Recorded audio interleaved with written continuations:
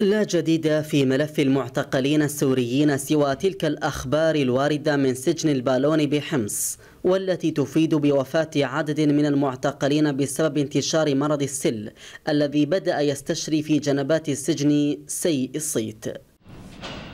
منذ بداية العام الحالي وثقت مصادر إعلامية وفاة خمسة سجناء قالت إنهم يقيمون في مهاجع مخصصة للمعتقلين المحولين من سجن صيدنايا يضافون إلى نحو أربعين آخرين.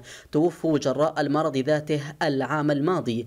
الأمر الذي يشي باحتمال زيادة عدد الوفيات لا سيما بعد توقف المنح العلاجية المقدمة سابقا من منظمات طبية تدعمها الأمم المتحدة. فيما اكتفت ميليشيا أسد بنقل بعض المصابين إلى المشافي العسكرية وحشر الباقين في القبو البارد والرطب والمحجوب عن أشعة الشمس ما يعني تركهم يواجهون الموت البطيء عوضا عن الموت تعذيبا العنوان الأبرز لسجون أسد.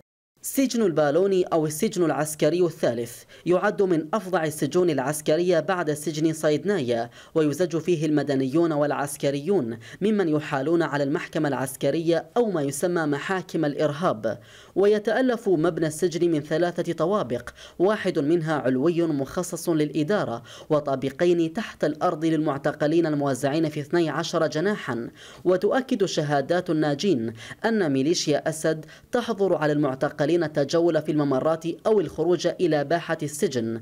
هذا عدا عن وجبات الطعام الرديئة والقليلة في آن والمياه غير الصالحة للشرب.